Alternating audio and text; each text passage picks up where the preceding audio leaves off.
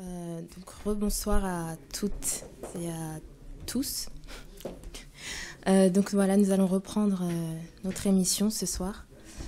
Et donc on va se laisser conduire par le Seigneur, voilà, qui sera au centre de toute chose.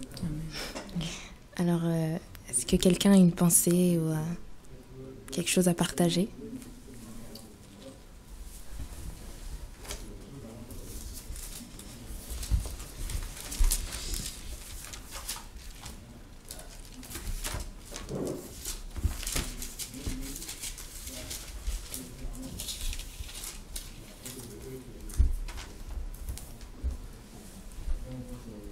Marie-Ange Moi, euh, je pourrais apprendre un passage dans 2 Timothée.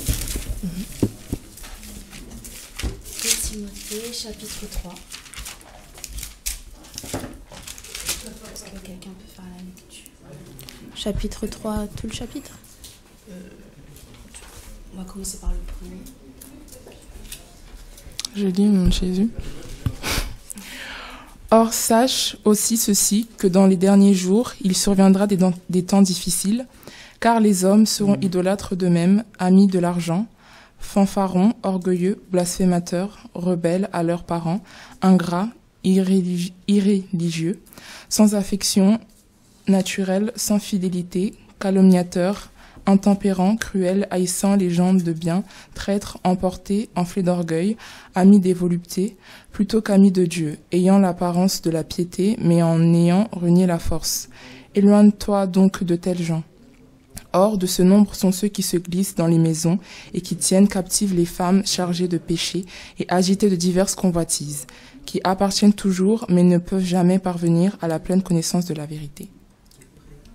Après. On continue? Et comme, comme Jeannès et Jean-Bresse ont résisté à Moïse, ceux-ci de même résistent à la vérité, étant des gens qui ont, de, qui ont l'esprit corrompu et qui sont réprouvés quant à la foi. Mais ils ne feront pas de plus grands progrès, car leur folie sera manifestée à tous, comme le fruit de celle Comme le fut. comme le fut celle de ceux-là. Mais pour toi, tu as pleinement compris ma doctrine, ma conduite, mon intention, ma foi, ma douceur, ma charité, ma persévérance. Et tu sais les persécutions et les afflictions qui me sont arrivées à Antioche, à Icône et à Lystre. Quelles persécutions n'est-ce pas supportées Et comment le Seigneur m'a délivré de toutes. Or, aussi qui veulent vivre pieusement en Jésus-Christ seront persécutés. Mais les hommes méchants et imposteurs iront en empirant, séduisant les autres et étant séduits. Mais toi, demeure ferme dans les choses que tu as apprises et qui t'ont été confiées, sachant de qui tu les as apprises. Vu même que dès ton enfance, tu as eu la connaissance des saintes lettres qui peuvent te rendre sage pour le salut par la foi en Jésus-Christ. Toute, écritu- toute l'écriture est inspirée de Dieu et utile pour enseigner, pour convaincre, pour corriger et pour instruire selon la justice, afin que l'homme de Dieu soit accompli et parfaitement instruit pour toute bonne œuvre. Amen. Amen. Donc, euh, c'est un passage que j'aime bien. Et euh, en fait, là, on voit que Paul, en fait, euh, parle à Timothée et lui donne euh, des directives. En fait, il lui du verset 1 au verset euh, au verset 7. En fait, il est en train de lui décrire un peu euh, le l'atmosphère un peu mondain, c'est-à-dire il est en train de voilà lui décrire comment les gens sont. Et il lui dit que or sache aussi ceci que dans les derniers jours il surviendra des temps difficiles. Et euh, on voit bien qu'on est dans des temps difficiles. Et euh, tout à l'heure on parlait de la gratuité. Mm. et le verset qui me touche c'est le verset euh, le verset 7 euh, non le verset 8 pardon. Et comme Jeannès et Jean Bresse ont résisté à Moïse ceux-ci de même résistent à la vérité étant des gens qui ont l'esprit corrompu et qui ont réprouvé quant à la foi. On voit que le message de la gratuité les gens c'est écrit dans la Bible mais c'est comme s'ils le refusent ils ne le veulent pas en fait et euh, c'est important en fait de, de, de, de mettre en pratique la parole. Et beaucoup de personnes ne veulent, ne veulent pas de cette parole, ne veulent pas de cette vérité. Et euh, c'est ce que Paul dit en fait. Et il dit à, à Timothée, au verset 14, Mais toi demeure ferme dans les choses que tu as apprises et qui t'ont été confiées, sachant que tu les as apprises. Donc on apprend des choses à travers la parole, et Paul dit en fait de les mettre en pratique et de ne pas en fait euh, passer outre, de vraiment euh, mettre en pratique euh, bah, la parole tout simplement. Et c'est une chose simple à faire, mais beaucoup de chrétiens malheureusement ne, ne le font pas en fait. Et je prends exemple bah, le message de la gratuité. On voit aujourd'hui que beaucoup de chantres qui se disent chrétiens, bah, même le fait de donner gratuitement n'arrivent pas à le faire en fait. N'arrivent pas à le faire et, et c'est dommage. Parce qu'ils se mettent en fait euh, contre la vérité. Amen. Et euh, donc euh, voilà. Moi, je voudrais rajouter, là, dans ce passage que tu lisais, c'est c'est marrant que tu lises ce passage-là parce que ça fait trois jours que Dieu me, me, Wow. me fait méditer. Et, euh, et donc, en fait, moi, ce que j'ai compris dans ce passage-là, verset 14, mais toi, demeure ferme dans les choses que tu as apprises et qui t'ont été confiées, sachant de qui tu les as apprises. Donc là, en fait, ça nous montre que euh, Timothée a été enseigné. Amen. Alors, chose que je, je me remets toujours dans, dans mon contexte, c'est que dans les assemblées, on nous enseigne pas ça, Mhm. tu vois? Donc là, comme, comme lui les a apprises, il les a retenues, et là, il, il le convie à, à le mettre en pratique, quoi. Maintenant qu'il le sait, il est obligé de le mettre en pratique. C'est là où tu pêches. Si tu sais les choses et que tu le fais pas, tu pêches contre Dieu. Tandis que là, euh, lui, il a été enseigné, mais je veux dire, euh, j'ai ce mot-là qui me, qui me trotte depuis au moins deux semaines, c'est l'ignorance. C'est-à-dire qu'il y a des gens qui sont ignorants. Mhm. Moi, je veux dire, la- je suis convertie depuis très longtemps, mais il y a des passages dans, dans la Bible, je les ai jamais lus, quoi. Je me dis, mais mince. Et c'est en arrivant ici, je découvre des passages, je me dis, mais purée, mais je l'ai jamais lu, ce passage-là. Et en fait, la gratuité, je l'avais jamais lu. Jamais, jamais, jamais. Et donc, et c'est des choses qu'on n'enseigne pas aussi. Tu vois? Donc, quand tu es enseigné, ça va. Tu l'as entendu une fois, deux fois. Donc, tu Mm. peux. euh, Le Seigneur, il peut, il peut te, te, par le Saint-Esprit, te, te remémorer, en fait. Mm. Tu vois? Mais quand tu les connais pas, il y a que vraiment le Seigneur qui peut te les révéler. Tu Mhm. vois, un jour, hop, boum, euh, non, tu dois pas faire ça, voilà. Mhm. Et après, tu le retrouves dans la Bible quand tu lis, et puis il te, il te fait tomber dessus, et tu te dis, ah ouais, c'était écrit dans la Bible, super. Tu vois? Mhm. mais là, il a été enseigné.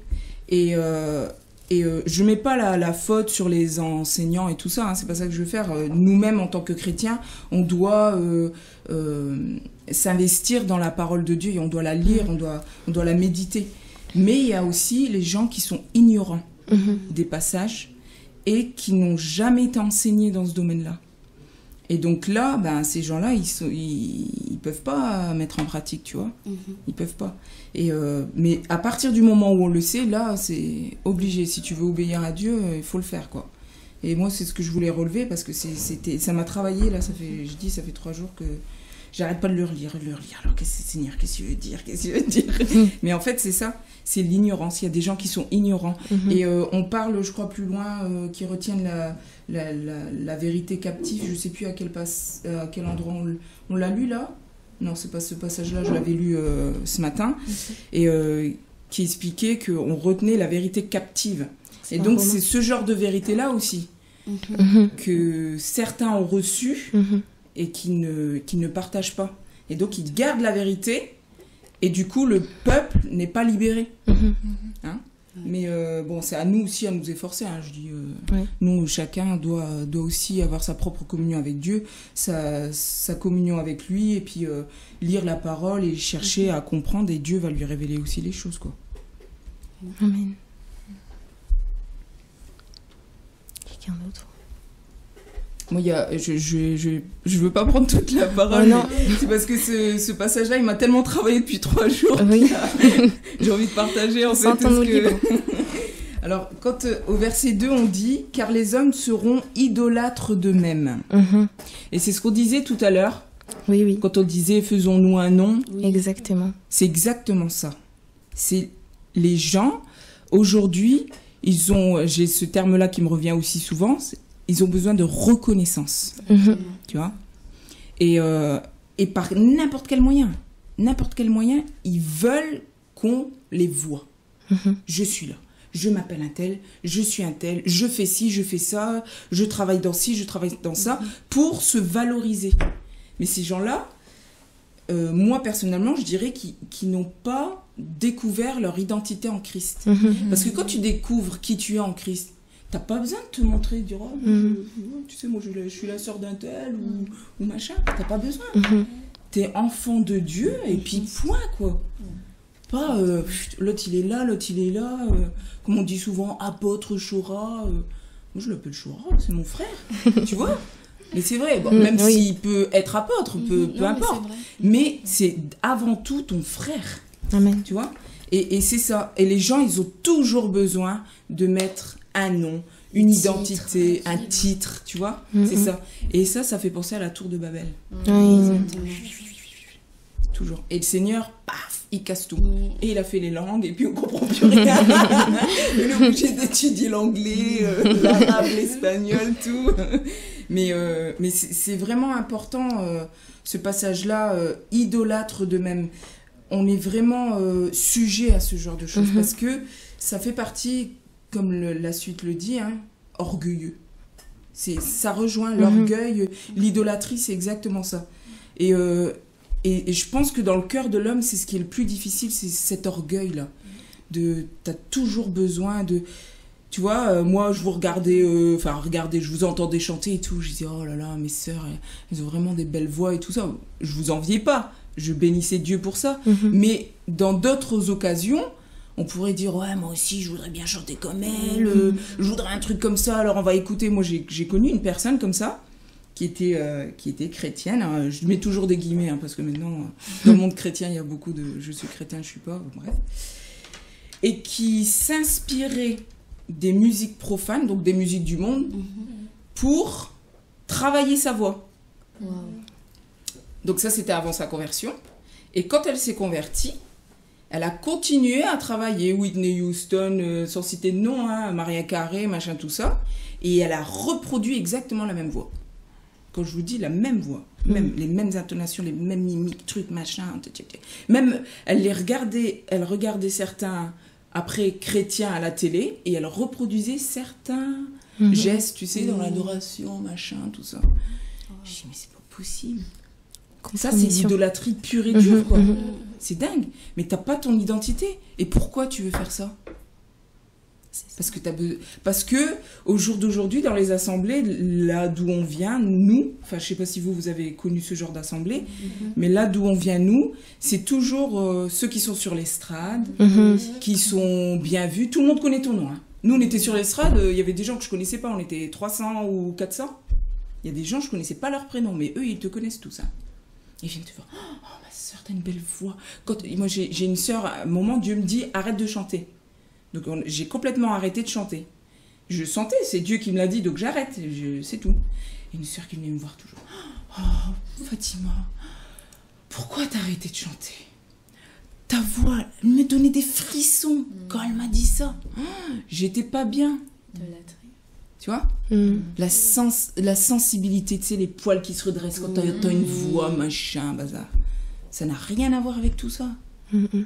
Ça n'a rien à voir avec tout ça. Et, et sans s'en rendre compte, et là, Dieu commençait à m'ouvrir les yeux. Je connaissais pas encore le message, hein.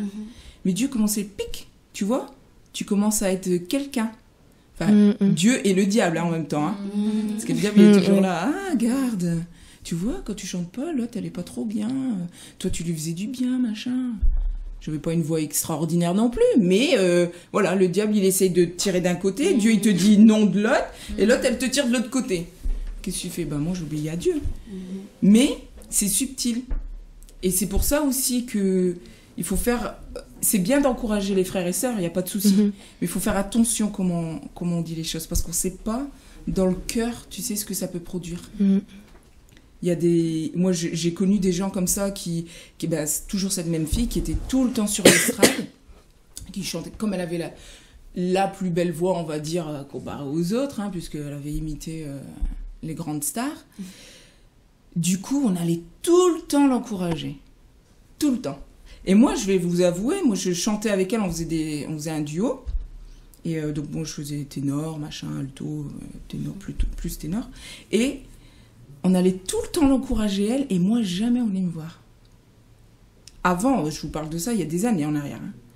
Et dans mon cœur, j'étais un peu.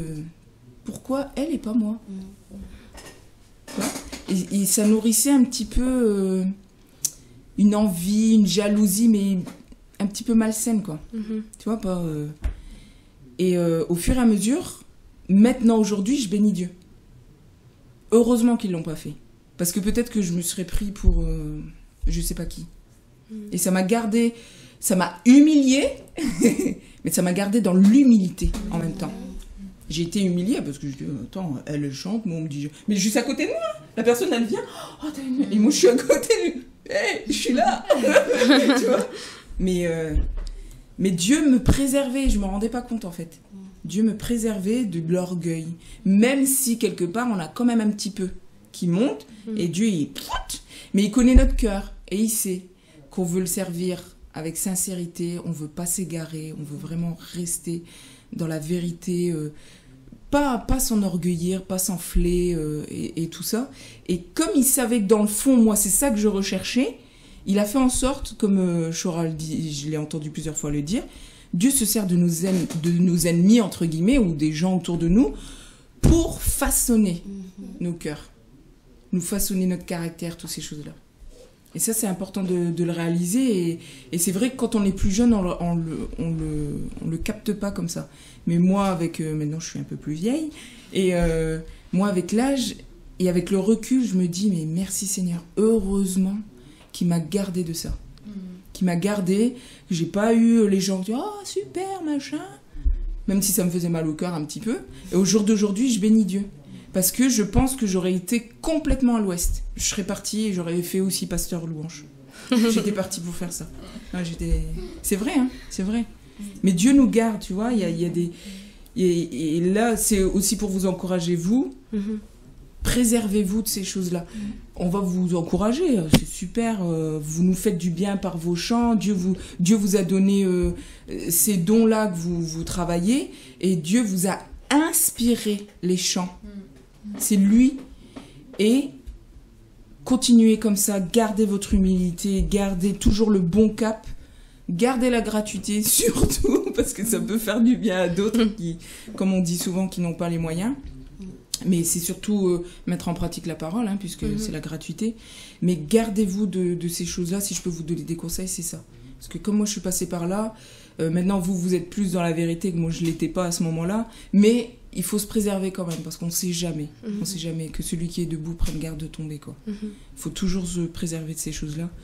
Mais euh, voilà ce que je, je voulais partager par rapport à, à l'idolâtrie d'eux-mêmes.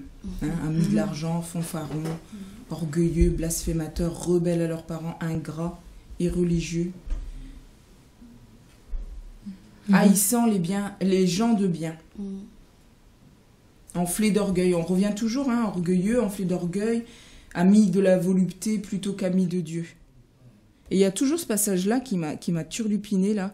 C'est ayant l'apparence de la piété, mais en, en ayant renié la force.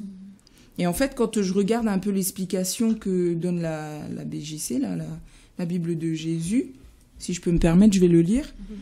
L'apparence de la piété, le mot apparence vient du grec morphosis et du latin forma, qui donne forme en français. Il est question du formalisme, de l'attachement excessif aux règles, aux rites, aux coutumes et aux traditions. Et euh, je vais pas lire le reste, mais je vais m'arrêter là parce que Dieu m'avait donné ce verset-là euh, quand je suis entrée dans une euh, dans une famille il y a très très très longtemps. Je connaissais pas la vérité encore, et il m'avait sur le front de la personne, il m'avait mis ce verset-là. Wow. Il avait l'apparence de la piété, mais il en renie la, mais il en renie la force. J'ai jamais su ce que ça voulait dire. J'ai jamais compris. Je me dis, il renie la force, la force de Dieu. Enfin, tu vois, quand, euh, quand t'es pas éclairé, tu cherches à comprendre, mais tu sais pas trop. Et c'est il y a peut-être deux ans, même pas, que j'ai compris ce verset-là. En fait, c'est le les gens qui sont dans les coutumes, les traditions euh, d'hommes, les, les choses comme ça. Et euh, au jour d'aujourd'hui, et je vais peut-être complètement changer la, le thème, mais euh, au jour d'aujourd'hui, il y a beaucoup de chrétiens qui sont vraiment dans les traditions d'hommes. Les Noëls, les anniversaires, les trucs comme ça, mais c'est terrible. Et les chrétiens entre guillemets, comme je dis toujours, ils sont en plein dedans, mais en plein dedans. Et ils, ils te comprennent pas. Ils te comprennent pas quand tu dis bah moi je fête pas les anniversaires. Mais pourquoi? Mais c'est une fête familiale. On fait pas comme dans le monde. On on il y a pas de beuverie, il y a pas de non non mais c'est pas ça. Recherche la racine de l'anniversaire. C'est une fête païenne. C'est une fête euh, où il y avait de la magie. Il y, a, y, avait les démons autour de la table. Je l'ai lu encore il y a pas longtemps. La bougie, euh, c'était le vœu euh, que tu faisais. Enfin, c'est vraiment une, une fête satanique en fait. Quand on regarde la profondeur du mot, et qu'avant tu étais ignorant, tu tu étais loin de tout ça. Toi tu dis je fête mon anniversaire, hop, une bougie, avec la famille, puis tout est centré sur moi. Là encore, l'idolâtrie d'eux-mêmes. Tout est centré sur moi. Tu vois? Mais euh, voilà c'est parti euh, les- les- là le, le verset qui, qui dit là euh, ayant l'apparence de la piété l'apparence de la piété c'est quand on est on se dit chrétien on, on, cro- on croit aimer Dieu. Mhm. mais on en renie la force en, en faisant tout ce genre de coutumes. Et j'en passe d'autres hein. Moi c'est ceux que j'avais dans, dans l'esprit mais il y en a plein d'autres. Éloigne-toi donc de tels gens. C'est dingue. Mhm. c'est pas euh, euh, sépare-toi un temps euh, euh, essaye de leur faire comprendre euh, voilà. Non c'est éloigne-toi parce qu'ils peuvent être un piège pour toi aussi. Mhm. ils peuvent t'attirer dans le mauvais sens quoi.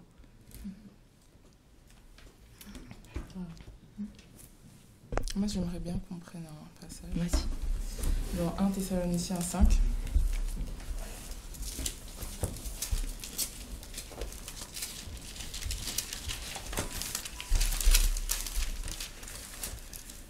Excusez-moi.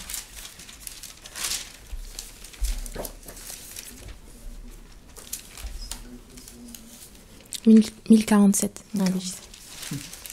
c'est compliqué oui nouvelle version Oui. ça va mieux Pardon.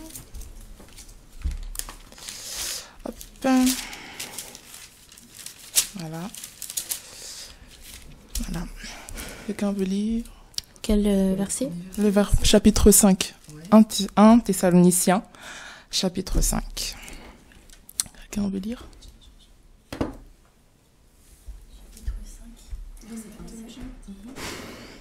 Pour ce qui est des temps et des moments, mes frères, vous n'avez pas besoin qu'on vous en écrive, puisque vous savez vous-même très bien que le jour du Seigneur viendra comme un voleur dans la, nuit. Quand ils diront nous sommes en paix et en sûreté, alors une destruction soudaine les surprendra, comme les douleurs de l'enfantement surprennent la femme enceinte et ils n'échapperont pas. Mais quant à vous, mes frères, vous n'êtes pas dans les ténèbres pour ce que, pour que ces jours-là vous surprennent comme un voleur. Vous n'êtes tous, vous êtes tous des enfants de la lumière et des enfants du jour. Nous ne sommes pas de la nuit ni des ténèbres.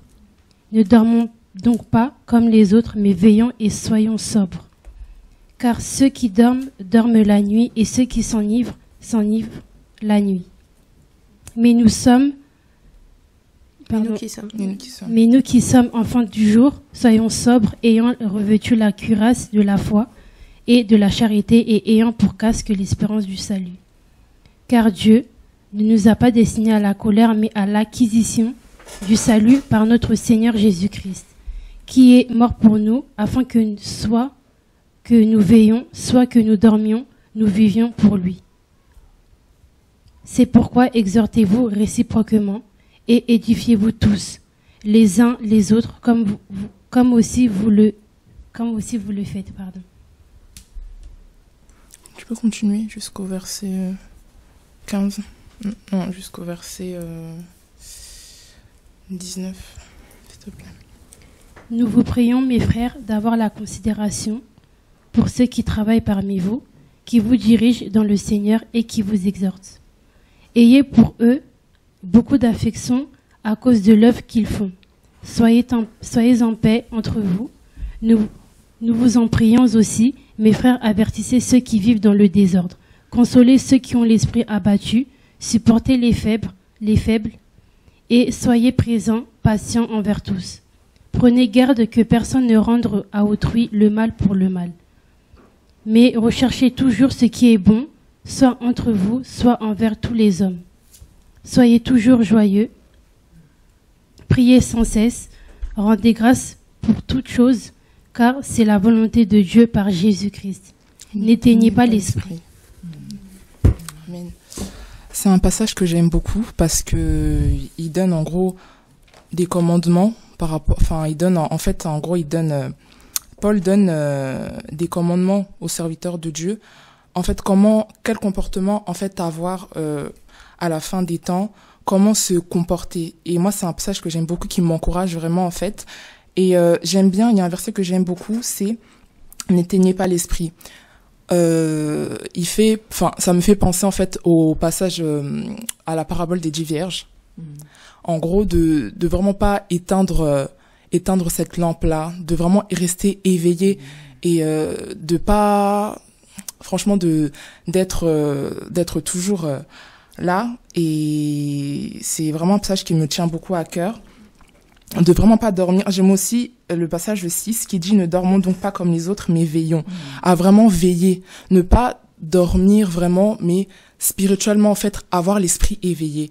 Et c'est un verset vraiment qui, qui m'encourage beaucoup. Donc je sais pas si quelqu'un voudrait rajouter quelque chose. Moi, j'aimerais rajouter, euh, par rapport à ce, que tu, enfin, ce qui est dit dans la parole, euh, un verset qu'on connaît tous, dans Ézéchiel 33, euh, qui, en fait, ce verset, en fait, explique, enfin, euh, dit que Ézéchiel est établi comme une sentinelle. Et en fait, en tant que chrétien, on est tous des sentinelles, donc on doit vraiment tous veiller, en fait, veiller. Et euh, pour reprendre le verset 1 Thessaloniciens 5, verset euh, 7, non 6, ne dormions donc pas comme les autres, mais veillons et soyons sobres. Vraiment, restons sobres et vraiment restons en prière, c'est vraiment euh, très important. Et voilà juste un verset euh, qu'on connaît tous aussi, 1 Thessaloniciens 5, verset 17, priez sans cesse. Vraiment, la prière, c'est indispensable en tant que chrétien, c'est vraiment euh, l'essentiel en fait. C'est La base. impossible en tant que chrétien de ne pas prier, de ne pas méditer la parole. C'est évident. Et, euh, et, puis voilà.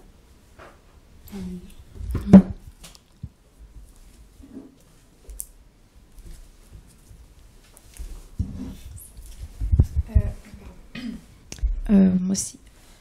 Excusez-moi. Euh, ce passage, je l'aime beaucoup. 1 Thessaloniciens 5. Et depuis tout à l'heure, euh, ça me fait penser à un passage médité dans Hébreu 4, si on peut le prendre. Verset 1.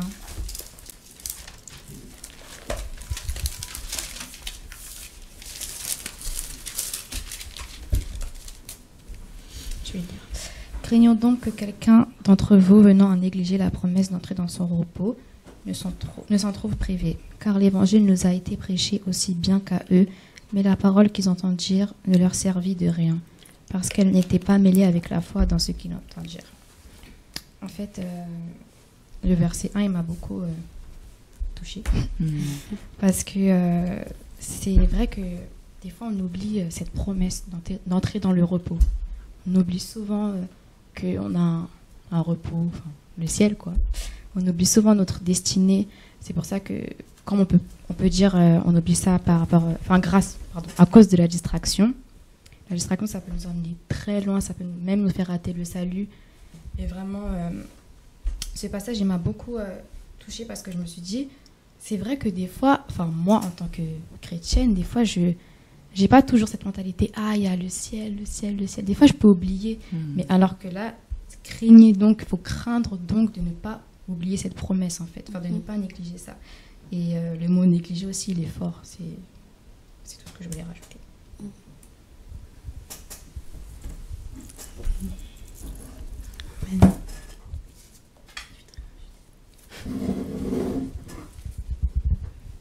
Euh, en fait, pour euh, reprendre tout ce qu'on a dit, en fait, on est, on voit qu'on est dans des temps très difficiles et que de plus en plus, en fait, c'est très dur de s'accrocher à Dieu.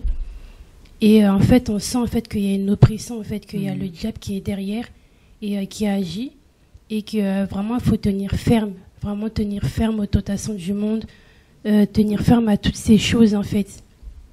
Et euh, voilà, ne pas se laisser euh, emporter par des paroles, par des pasteurs qui viennent nous impressionner par des leurs paroles, par des peu importe que ce soit la famille, que ce soit l'entourage, au travail, je sais pas, à l'école, vraiment ne pas se laisser emporter et vraiment rester ferme et s'attendre à ce que Dieu dit. Et pas pas s'attendre à ce que les hommes disent parce que le plus important c'est ce que Dieu dit et pas les hommes. Parce que Dieu nous connaît parfaitement. Il sait il connaît notre destinée. Il sait euh, comment euh, comment on est du début jusqu'à la fin. Et euh, vraiment j'ai pris vraiment que qu'on s'accroche en fait à Dieu qu'on recherche qu'on recherche Dieu en fait qu'on tombe amoureux de sa parole, de lui. Et, euh, et puis voilà, c'est le plus important en fait parce que j'ai remarqué, enfin, on est quand même humain, on s'attarde beaucoup à nos problèmes du quotidien. On regarde beaucoup en fait à ce qui nous entoure et c'est normal parce qu'on est humain. Mais vraiment, euh, malgré tous tous ces combats en fait, regardez, chercher vraiment et craindre Dieu, rechercher son intimité, c'est vraiment le point en fait basique en tant que chrétien, c'est ça le secret. Euh, rechercher son intimité et chaque jour ça m'apprend et ça m'apprend.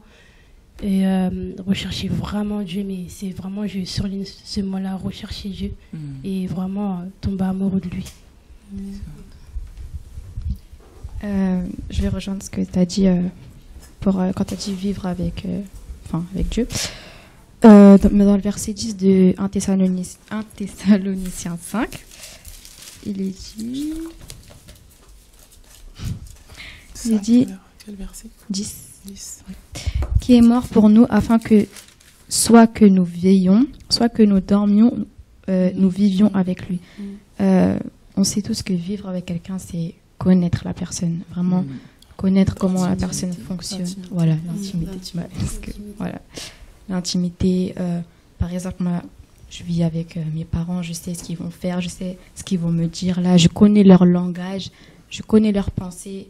Et c'est ça, en fait, connaître le langage de Dieu, c'est un principe, en fait, et ça va beaucoup nous faire avancer et beaucoup nous faire éviter euh, des choses, en fait, qui peuvent nous faire rater le salut, tout simplement. Voilà. J'ai un passage. Ah. J'ai un passage dans Jacques 4, ouais, verset 7.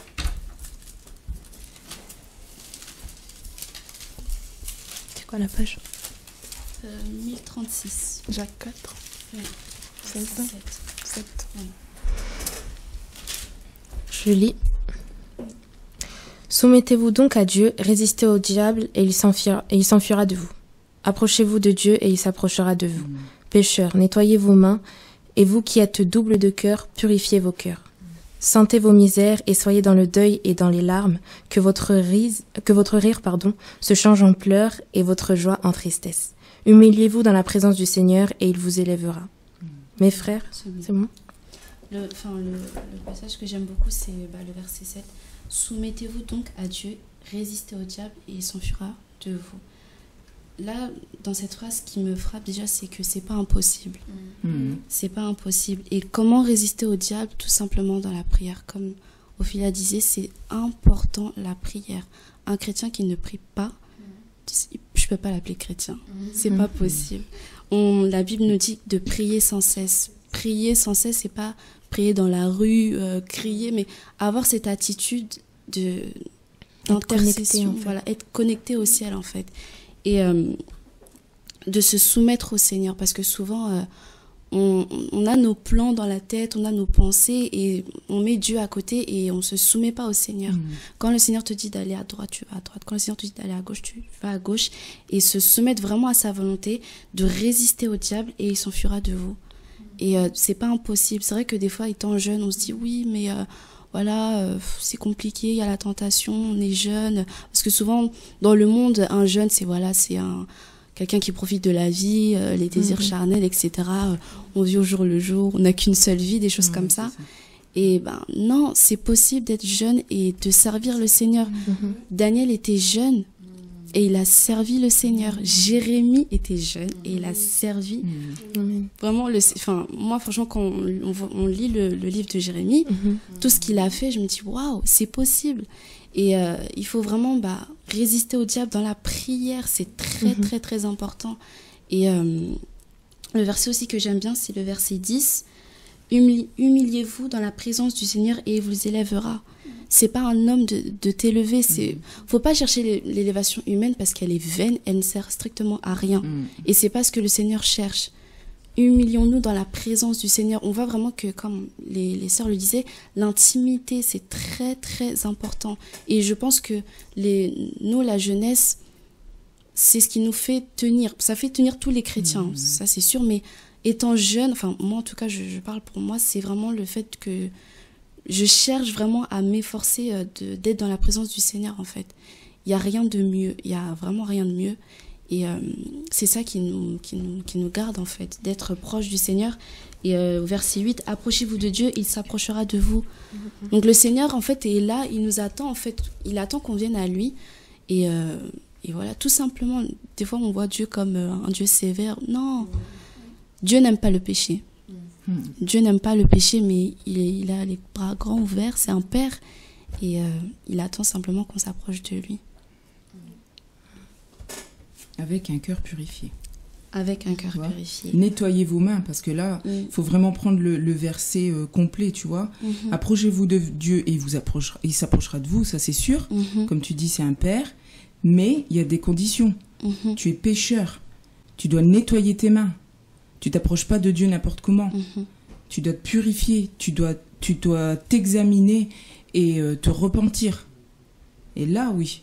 Mm. Mais si tu t'approches de Dieu euh, comme euh, ton, ton pote et puis, C'est euh, clair. tu vois, c'est vraiment- c'est vraiment, approcher Dieu avec des, mo- des motivations pures. voilà, c'est c'est ce qu'il dit. Dieu n'aime pas le péché, quoi. Et vous qui êtes double de cœur, Mhm. Mhm. double de cœur, c'est des hypocrites quoi. Tu fais semblant devant les autres et puis euh, au fond t'es pas comme ça. Mhm. Purifiez vos cœurs, tu vois? Faut Mhm. vraiment, euh, moi je, je- maintenant, avant je le faisais pas, hein, il y a quelques années en arrière je le faisais pas, mais maintenant je prends vraiment tout le verset dans son contexte et là tu vois bien qu'il y a des conditions, Mhm. tu vois? Parce qu'il y en a, ils vont prendre un verset, ils vont te le sortir du contexte, ça n'a plus rien à voir. Ça veut plus rien dire. Tu vas te prendre, oh oui, mais tu sais, le Seigneur, il est bon, comme quand tu pêches. Seigneur, il est bon, il pardonne, Dieu fait grâce, euh, il est bon, il est amour, Dieu est amour. Ça, on me l'a souvent sorti. Et les gens, ils continuent à vivre dans le péché. Non. Mais qu'est-ce qu'il te demande, le Seigneur? Il faut que tu reviennes repentant. Mhm. Repens-toi. Mhm. Tu te repens, tu reviens d'un cœur sincère, tu demandes pardon à Dieu. Dieu, il est fidèle et bon pour Mhm. pardonner nos péchés, c'est écrit. Amen. Mais il faut revenir avec un, re- un cœur repentant. Mhm. Si tu bon allez, euh, pff, bon allez Seigneur, je te demande pardon, allez hop, hop. Et puis euh, la semaine d'après, tu recommences et tu recommences et tu recommences et tu recommences. Tu, tu pêches volontairement et, et c'est pas un cœur repentant ça. Après, tu peux avoir des difficultés, c'est autre chose. Mais si c'est constant, constant, constant et que tu, tu le sais de toi-même, si tu fais les choses euh, du fond du cœur ou pas, hein, tu sais quand tu demandes pardon Mhm. vraiment, ou Mhm. si c'est des paroles comme ça, attention, je vais à la réunion de réveil, euh, si le frère Chora, il a des paroles, je vais vite euh, me purifier, vite fait. Bon Seigneur, je te demande pardon parce que cette semaine j'ai fait ça, ça, ça, ça, ça. Hop, comme ça, tu vas à la réunion, t'es tranquille. Si jamais il a quelque chose à dire, au moins, moi, j'ai réglé mon compte avec Dieu, je peux aller à la réunion tranquille. Non, c'est pas ça. C'est vraiment euh, vous qui êtes double de cœur, purifiez vos cœurs, quoi. Et euh, le passage là que tu viens de lire, le verset 7, là, soumettez-vous donc à Dieu, résistez au diable, il fuira loin de vous. Enfin, il fuira de vous. Ça me fait vraiment penser au passage euh, quand Jésus, il était tenté dans le désert. Mhm.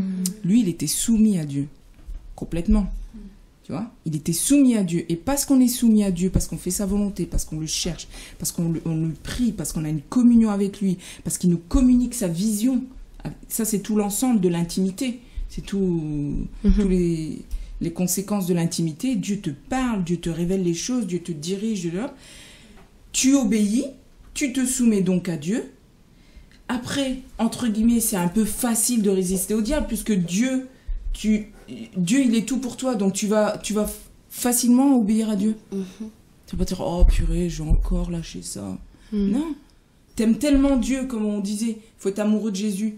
T'aimes tellement Dieu quand t'aimes quelqu'un, tu veux, tu fais tout pour lui quoi. Tu es là, euh, oui oui d'accord. euh, ah, t'aimes bien mes cheveux comme ça, allez hop, je vais faire mes cheveux comme ça. Tu vois Mm.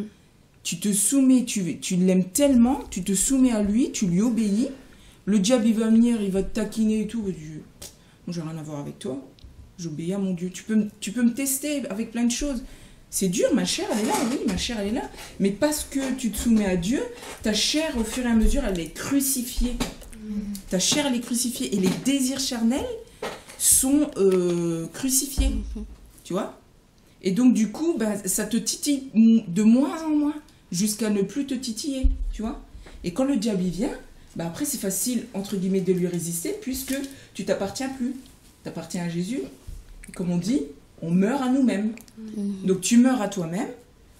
Il n'y a plus rien qui te sensibilise, entre guillemets. Et quand le diable il arrive, bah, il s'enfuit puisqu'il trouve rien en toi, entre guillemets, tu vois.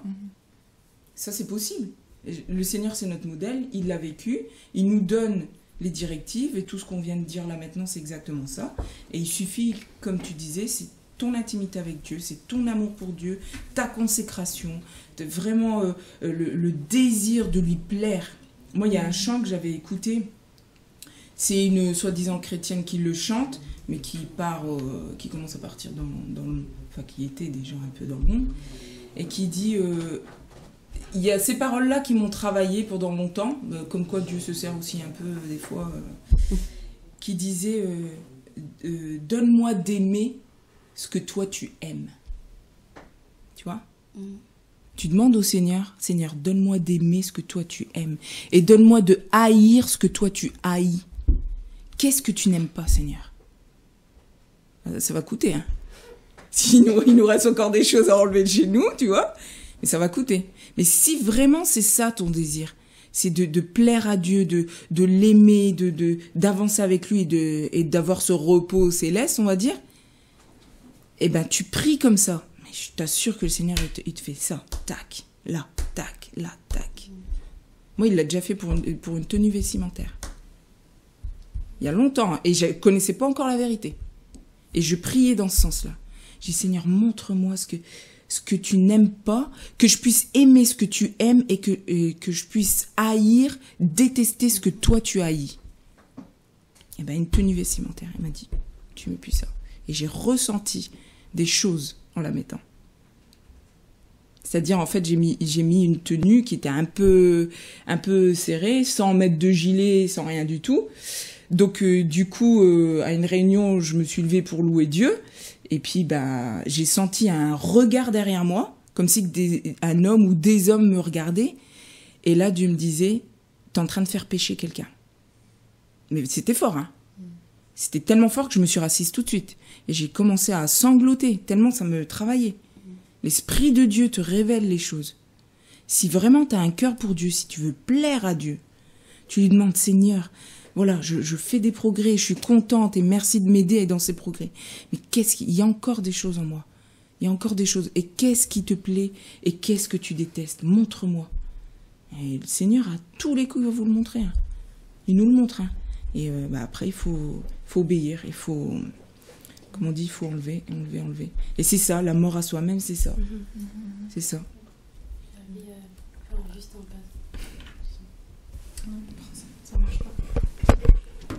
J'avais euh, juste un passage dans Jacques 4, euh, verset, verset 14 au verset, euh, au verset 16. Si quelqu'un veut bien lire. Quelqu'un parmi vous est-il malade? Qu'il rappelle. Jacques Jacques 4, 4. verset Jacques Ah, 4, excusez-moi. c'est Excusez-moi. 14. Qui toutefois ne savez ce qui arrivera le lendemain, car qu'est-ce que votre vie? Ce n'est ce n'est certes qu'une vapeur qui paraît pour un peu de temps et qui ensuite s'évanouit. Au lieu de dire si le Seigneur le veut, et si nous vivions, nous ferons aussi ce- ceci ou cela. Mais maintenant, vous, vous glorifiez dans vos pensées orgueilleuses. Toute fierté de cette nature est mauvaise. En fait, ce, ce passage, ça me touche. Parce que euh, la phrase qui me touche, en fait, c'est Ce n'est certes qu'une vapeur Enfin, je reprends un peu le verset 14. Qui toutefois ne savait pas ce qui arrivera le lendemain. Car qu'est-ce que votre vie? Ce n'est certes qu'une vapeur qui paraît pour un peu de temps et qui ensuite s'évanouit. En fait, ce verset, ça montre euh, l'homme. L'homme, on n'est rien. L'être humain est rien, en fait. On n'est on est qu'une vapeur qui paraît un peu de temps et qui s'évanouit. Et en fait, on vient de la poussière et on retournera poussière. Et en fait, on voit que là, il faut vraiment être, se consacrer en fait à Dieu, être mis à mort à Dieu, s'humilier. Et euh, je sais que c'est un point très dur parce que ça fait mal, ça ça te dé, pas ça te détruit mais ça te voilà quoi, ça te ça te brise en fait. Et en tant que chrétien, on est obligé de passer par le brisement. C'est un point aussi très important et on est obligé de passer par là. Et en fait, ce verset s'explique qu'il faut abandonner en fait les désirs charnels, abandonner en fait les désirs euh, de ce monde et vraiment faire ce que Dieu veut, faire la volonté de Dieu en fait, obéir à ses ordres, obéir à sa parole, à ses écritures, c'est dans voilà. Et euh, et vraiment en fait ce passage c'est c'est enfin voilà pour tout ça pour dire que l'homme en fait n'est rien et qu'il faut vraiment en fait effacer le moi et mettre euh, Dieu en avant. Comme il est dit euh, qui toutefois ne savez-vous pas ce qui arrivera le lendemain? Quand tu sors de chez toi est-ce que tu sais qu'est-ce qui arrivera le lendemain? Tu peux sortir de chez toi tomber dans les escaliers tu ne sais pas ça prévient pas. Et euh... oui Euh, en fait, depuis qu'on parle, euh, ce qui me revient tout à l'heure, depuis tout à l'heure, c'est euh, le fait qu'on porte trop d'attention, pardon, à ce qu'on est, à Mhm. nous-mêmes. Et tout à l'heure, on disait c'est possible, c'est possible, mais si on regarde bien, en fait, les, les personnes dans la Bible qui ont réussi, Paul, enfin même Jésus, qui est notre modèle suprême, s'ils ont réussi, s'ils ont, enfin si on peut dire c'est possible, c'est parce qu'ils ont accepté la mort à soi-même. Et c'est possible avec Dieu à partir du moment où on accepte de mourir, on accepte de lâcher ce qu'on est. Et dans le passage qu'on a pris tout à l'heure dans 2 Timothée 3, euh, quand euh, Paul parlait à, à Timothée, on nous parle de quoi? On nous parle de, de persécution, de, enfin, de, de voilà le fait qu'ils étaient à part, que c'était des temps vraiment euh, d'oppression. Mais en fait, ils prêtaient pas import- d'importance à leur vie, à ce qu'ils pouvaient être. Ils avaient réalisé en fait qu'ils étaient qu'un souffle et que ce qui devait primer, c'était ce que Dieu voulait pour eux. Et si des fois on réussit pas, si des fois on tombe, si on n'arrive pas à avancer avec le Seigneur, c'est parce qu'on porte trop d'im- d'importance à ce qu'on est, à ce qu'on a, à notre image.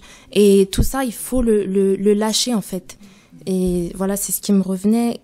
Et c'est vraiment frappant en fait comment on voit dans la parole comment les, les, apôtres et toutes ces personnes, comment elles étaient persécutées, comment ils vivaient des temps vraiment difficiles. Et je peux dire qu'à côté de ce qu'on vit aujourd'hui, c'est je dis pas qu'on vit rien, il y en a beaucoup qui vivent des situations très difficiles, mais ça c'est un très bel exemple pour nous montrer que c'est vraiment possible mais à partir du moment où on accepte de, de lâcher ce qu'on est. Et c'est vraiment en fait euh, le fait d'abandonner les les désirs et comme tu disais tout à l'heure en fait de demander au Seigneur montre-moi euh, donne-moi d'aimer ce que tu aimes et donne-moi de, de, de haïr ce que tu es. Vraiment la mort à, à soi-même. C'est pas par nos yeux qu'on doit aimer les choses. C'est pas parce que les les hum, les hommes nous apprennent que voilà, il faut aimer telle chose que nous aussi, voilà, toutes ces choses-là. Et c'est vraiment de cette pensée-là qu'il faut arm- s'armer si on veut réussir avec le Seigneur. C'est possible, lui, euh, d'être voilà, d'être jeune, d'avancer avec Dieu, c'est possible, mais il y a un prix à payer. Et ça, c'est le fait de porter sa croix. Acceptes-tu euh, de, de de renoncer à, à, à tes désirs, à tes passions, de renoncer à ce que tu aimes, aux choses auxquelles tu es le plus attaché? C'est c'est tout ça en fait qu'il faut prendre en considération. Des fois on se plaint, on dit que c'est difficile, j'arrive pas à avancer avec le Seigneur, je, je peux j'arrive pas à aller loin, mais on est si on n'arrive pas à avancer, c'est parce qu'on est attaché à tellement de choses, attaché à tellement de choses. Et euh, et voilà, en fait je pense à une image. Euh, je vois en fait une, une porte et euh, je me dis que voilà quand on est chargé, quand on a par exemple des valises, des bagages, forcément, on ne pourra pas traverser cette porte-là. On ne pourra pas la traverser. Pour pouvoir passer à autre chose, pour pouvoir dire, ah, j'y ai arrivé, c'est possible, il faut accepter de lâcher tout cela. Et c'est vrai que c'est pas facile. C'est vraiment pas facile. C'est un travail quotidien. Euh, c'est un travail euh, difficile, mais avec la force du Seigneur, c'est possible. Quand on avance dans l'humilité, comme on dit, lisait dans Jacques, soumettez-vous au Seigneur. Il faut accepter la soumission, accepter qu'on te pointe euh, les choses qui font mal, des choses qui qui qui, qui dérangent. C'est c'est comme ça qu'il faut avancer en fait avec le Seigneur. Et c'était la pensée que que j'avais. Je pense aussi en fait au passage de d'Abraham quand il a dû sacrifier Isaac. C'est tellement bouleversant. Je me dis, waouh, c'était son fils unique, celui qui l'aimait. Le C'est fils de la promesse. Exactement. Tu vois, C'était un truc euh, bien. voilà. Il l'attendait, hein. Mhm. Il l'a tellement attendu et quand il l'a eu, il lui dit vas-y, Voilà. sacrifie-le. Là, attends, il comprend plus rien là. Enfin, ils nous disent pas qu'il a pas Mhm. compris ou quoi, il a obéi, hein. Oui, Mais euh, on peut pas s'imaginer ce qu'il a, il a pu penser. Tout ce qu'on doit savoir, c'est que lui, il a Mhm. obéi. Il a obéi. oui, On ne doit pas s'imaginer, ah, est-ce qu'il s'est dit ci, est-ce qu'il s'est dit là, parce que tout de suite on se fait des films, oh le pauvre, il a dû. Ça se trouve, c'était facile pour lui, on sait pas. Mhm. Je sais pas le passage, euh, si. c'est dans- dans Genèse 22. Ouais, si on peut le lire, voir un peu si ça nous dit qu'il a eu des difficultés à lâcher ou pas. Euh, Non, ils disent rien ils dessus. disent rien. Hein. C'est Genèse 22. C'est au verset, Euh, c'est dans le verset 10. hein. Puis Abraham étendit sa main. Verset 4, je dirais, euh, verset 5. Verset 5. Et Abraham dit à ses serviteurs, Restez ici avec l'âne, moi et l'enfant, nous irons jusque-là pour adorer, après quoi nous reviendrons auprès de vous. Abraham prit le bois de l'Holocauste et le mit sur Isaac, son fils, et prit le feu dans sa main et un couteau, et ils s'en allèrent tous deux ensemble. Alors Isaac parla à Abraham son père et dit, Mon père. Abraham répondit, Me voici mon fils. Et il dit, Voici le feu et le bois, mais où est l'agneau pour l'Holocauste? Abraham répondit, Mon fils, Dieu se pourvoira lui-même de l'agneau pour l'Holocauste, et ils marchèrent tous deux ensemble. Et étant arrivé au lieu, de, au lieu que Dieu lui avait dit, Abraham bâtit là un autel et rangea le bois. Et ensuite il lia Isaac, son fils, et le mit sur l'autel par-dessus le bois. Puis Abraham étendit sa main et prit le couteau pour égorger son fils. Mais l'ange de Yahweh l'appela des cieux et dit, Abraham, Abraham. Il répondit, Me voici. Et l'ange lui dit, Ne porte pas ta main sur l'enfant et ne lui fais rien, car maintenant tu, je sais que tu crains Dieu, puisque tu n'as même pas refusé ton fils, ton Mm. unique. Donc là, on l'a. hein. Il n'a Mm. pas refusé, il a rien dit, il n'a pas bronché. Moi, j'ai relu le passage un peu avant et euh, ça dit rien du tout sur Mhm. sa rébellion ou quoi qu'est-ce. hein. Ouais. Rien du tout. hein. Et Abraham, il était vraiment. euh, il était soumis là. T'es soumis à Dieu. Moi, ce Il qui était m'a frappé, c'est que qu'il a obéi, en fait. On dit que l'obéissance vaut mieux que le sacrifice. Mm. Donc, euh, quand il a, il a directement obéi au Seigneur, il n'a pas réfléchi. Et ça, Mm. c'est- c'est vraiment difficile pour nous. Quand Dieu nous parle, par exemple, on a envie des fois, en tant que... Enfin, on a envie de sortir, par exemple, pour nous les jeunes, je parle, par exemple, d'aller quelque part, et là, Dieu te dit non, reste dans, reste dans la prière, prie. Et c'est vrai qu'il faut directement obéir et Mm. écouter le- la voix du Seigneur. C'est ce que Abraham a fait. Ça, m'a, ça me marque vraiment parce que aujourd'hui, euh, c'est vraiment difficile. Mais là, tu vois, dans le passage, euh, pour revenir à ce que tu viens de dire, Mhm. pourquoi Abraham, il a pu, euh, il a pu obéir euh, aussi vite Il dit à un moment, euh, l'ange qui lui dit, maintenant je sais que tu crains, crains Dieu. Dieu. C'est la crainte de l'éternel. La crainte de l'éternel, c'est tout. Tu, tu crains le, le... Enfin, pas la crainte dans le sens peur, tu vois. C'est c'est rempli d'amour aussi, la crainte. Si tu crains pas Dieu, tu t'y arrives pas. T'y arrives pas. Et c'est ça, en fait, je pense que c'est le... Ce qu'on doit vraiment demander à Dieu, c'est de le craindre. Mm. Et tout va découler, en fait. Tout va découler. Mhm. Amen. Amen. Que tu sois béni. Euh, donc voilà, c'est vraiment ça le message de demeurer euh, dans la parole, d'être, euh, de chercher ce que Dieu dit et pas ce que les, les hommes peuvent nous apprendre, peuvent nous inculquer, mais ce que la parole nous inculque. Et ce que la parole nous dit, c'est vraiment d'accepter de nous soumettre, de mourir dans la chair afin de pouvoir aller plus loin avec le Seigneur. Voilà. Que Dieu vous bénisse. Amen.